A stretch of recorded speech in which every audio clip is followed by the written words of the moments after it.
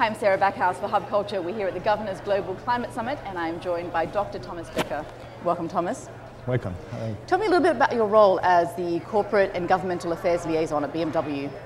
Well, I mean, uh, today the car industry, the way we make cars are to a very large extent shaped by the requirements of society and by the regulator.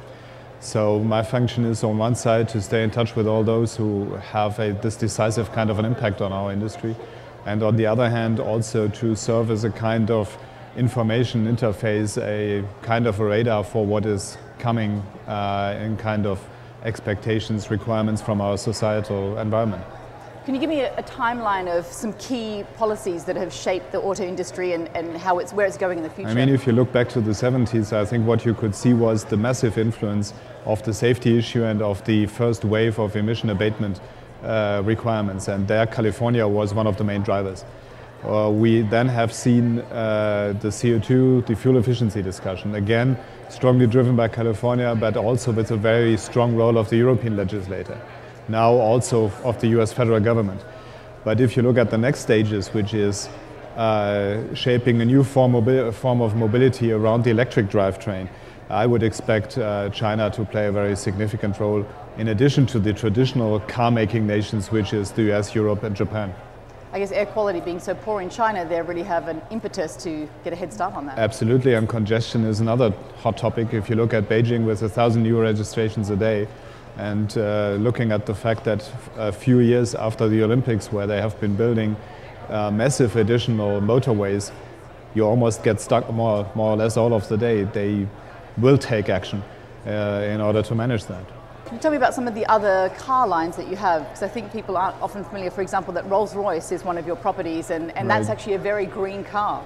Yeah, the Rolls Royce is uh, obviously not a, a high figure, high volume product uh, but it is one where, uh, if you look at our plant in Goodwood in Great Britain, uh, we have built up a completely new manufacturing facility which is uh, defined uh, by the need to do it as sustainable as possible.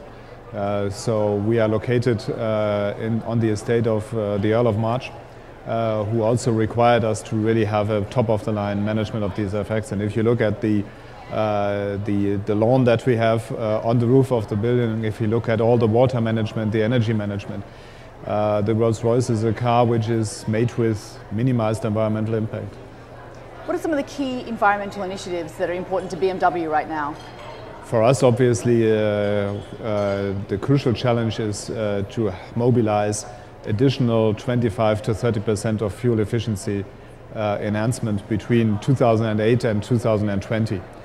Uh, that comes on top of uh, roughly 29% that we have already been reducing since the mid 90s. So one can say that compared to that situation, the BMW, average BMW in the year 2020 will only consume less than half uh, of what it did uh, in the mid 90s.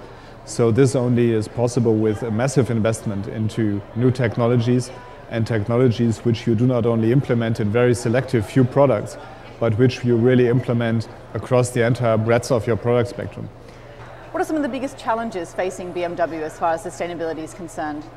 For us, uh, very clearly, as for most of the rest of the industry, it is about, um, on one side, doing big investments uh, into new groundbreaking technologies, and on the other hand, uh, remaining profitable uh, in a sustainable manner with the existing product portfolio. So what we talk about is not a situation where you just uh, uh, turn a switch uh, and go from one technology to another, but we talk about managing a transition, transition process, a situation where you have a competition between very different drivetrains, very different fuels, biofuels, hydrogen, natural gas, electricity, uh, and you have to manage all of that.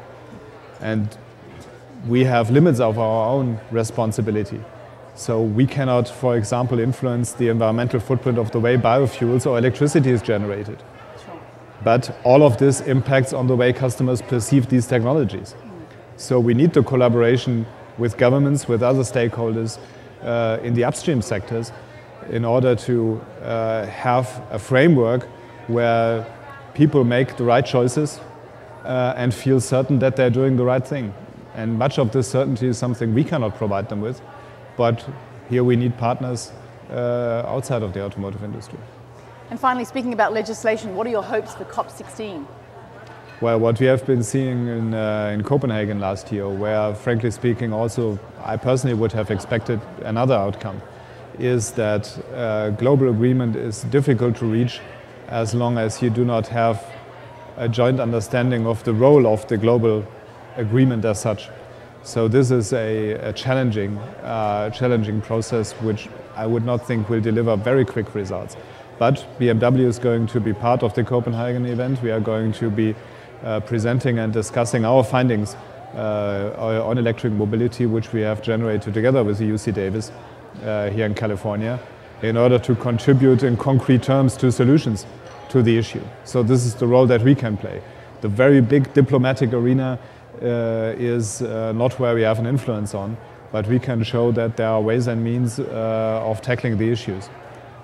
Dr. Thomas Becker, thank you very much for your time and enjoy the uh, conference. Thank you. Thank you. Thank you.